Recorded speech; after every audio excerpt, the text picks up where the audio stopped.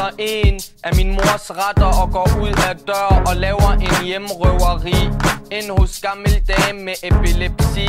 Gammel dame med epilepsi. Er bange for fucking perker med hue med huller i. Begynder at skrige. Min hånd på hendes mund, min ven i hendes pung Mig jeg løfter hende over i seng som en hjemmehjælper Og overlader hende til hendes epilepsi som en hjemmehjælper. Mig jeg siger til min mor, hun trænger til en Der laver strøg på hendes ryg og hjælper med kartofler. Min mor siger, det handler ikke om strøg Og kartofler. Hun skralder selv Eller to døtre, der skralder hun har Hvem er min mor uden hendes tørklæde? Kvinde med grå hår mellem de sort En kvinde med kusse, der er død Som potteplante og præstens kat En kvinde født i flygtningelejr Der bliver smuk og ung. Men gammel nok til at gift med en mand Der viser en tilfældig Danmark-land Og en pude på hendes hoved Med tørklæde på hendes hoved. Hun er bare muslim Og nu hun er en enlig tørklæde i betonblok Med fem chakalbørn født på fem år Uden en kejsersnit. For dem de kunne ikke snitte den halal. Jo nu hun er skilt på dansk Men på islamisk. Hun skal stadig adlyde far til børn. Selvom far til børn har lavet gift dansk og på muslimsk igen Og lavet far til flere børn Og lavet gift på dansk og på muslimsk igen For at bedrage socialt og på islamisk stadig bestemme. Mig jeg siger til en perker Hvad er det du siger dig om din brud med skumplugt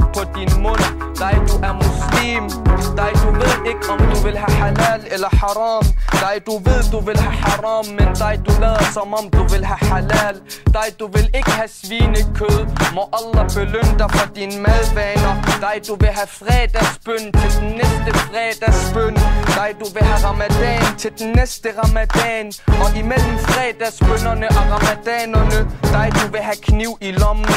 Dig du vil gå ind i folk og spørge om de har en problem. Selvom den eneste problem den er dig. Dig du vil have dansk fisse til du vil have min søster. Dig med din ene smagsløg. Du nyder zamzam med din anden. Du nyder sprut. Dig du vil have hash og kriminalitet og kontanthjælp. Dig du vil have fredagsbøn til den næste fredagsbøn. Dig du vil have ramadan til den næste ramadan. Men dig du kan ikke finde ud af at faste. Dig du kan kun finde ud af fest. Dig du kan ikke finde ud af koran. Dig du kan kun finde ud af at knæle. Dig du orker ikke praktisere Men dig du er ivrig efter at prædike. Dig du er muslim.